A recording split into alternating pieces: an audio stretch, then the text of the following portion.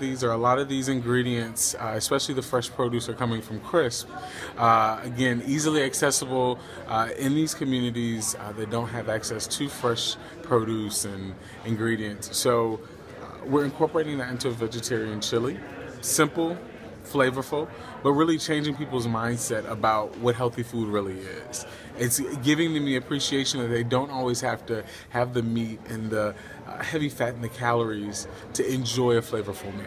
So that's what we're doing. It's all about the fresh produce. It's all about the fresh herbs and spices and seasonings that I trust me, these people will not know the difference between them not having meat in it and me being vegetarian. So they're gonna enjoy it.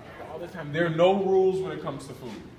If you don't want to do kidney beans or black beans, use white beans. If you don't want to use beef, try chicken. You know, we this is completely vegetarian, but if you're using meat and you want to stick away from kind of the ground beef and the red meat, try something with chicken in it. A little healthier for you, right? Um, also, if you don't want pineapple, try figs or try cranberries, something else like that. You know, adding in that sweet element. So I always tell people to just think outside of the box when it comes to food. Okay?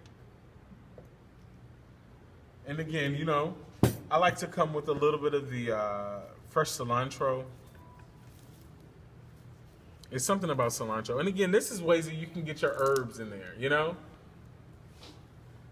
And then how many people are like cornbread and chili are go hand in hand? It's like you can't have one without the other. Are you or, or oh, oh, crackers, oyster crackers. You know what? My thing is, I said, why don't I use like a sweet potato chip? You know, it still gives you something a little healthier. It's different, you know, and they're kind of fun. They're kind of cool.